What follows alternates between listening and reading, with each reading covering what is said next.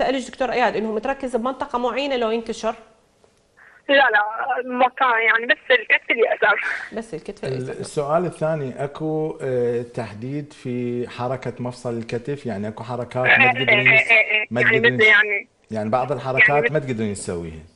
إيه إيه. إيدك تقدرين ترفعيها؟ مثلا تشتغلين تسوي فد شيء يعني عادي اشتغل يعني مستنسة عندي ألم ما أقدر أحركها. نعم. أي.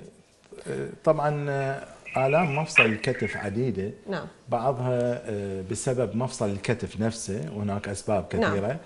وبعضها الألم الأص... آه، سبب الألم يكون من الفقرات العنقية. نعم. آه، يبدو من خلال يعني الأعراض اللي تعانيها المشاهدة الكريمة أنه سبب الألم هو مفصل الكتف. نعم.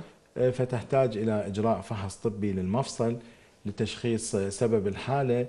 ومن ثم آه، آه، إرشادها إلى العلاج المناسب فإذا كانت آه، ماخذة أدوية للفترة السابقة أكيد يعني هي تقول. صار سنتين مو ف- تمام سيناء ف... نعم فبال- سيناء مو معاناه مع الخط. فبالإمكان في هذه الحالة إجراء بعض التداخلات المناسبة حسب سبب الألم المسبب لآلام مفصل الكتف نعم نعم أحسن دكتور آه، دكتور خلي أسألك تعقيبا على آه، سؤال الأخت سيناء. بالنسبة لانزلاق الفقرات العنقية نعم. وين تصير الآلام؟ على مود الناس بس إنه تفرق إنه بين هسه أنت قلت لي شخصتها إنه هي مو سبب الانزلاق وإنما أكو التهاب أو مشكلة بالمفصل. نعم. فوين يحس الشخص بالآلام؟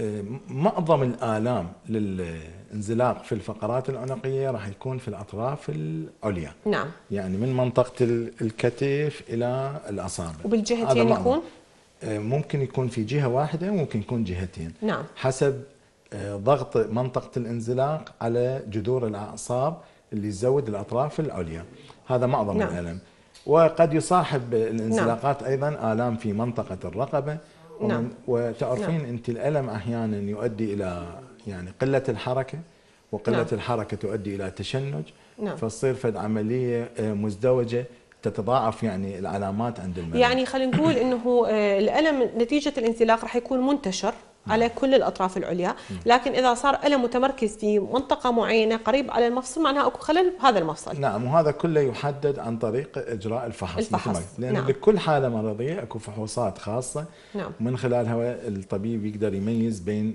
السبب الرئيسي للألم. نعم.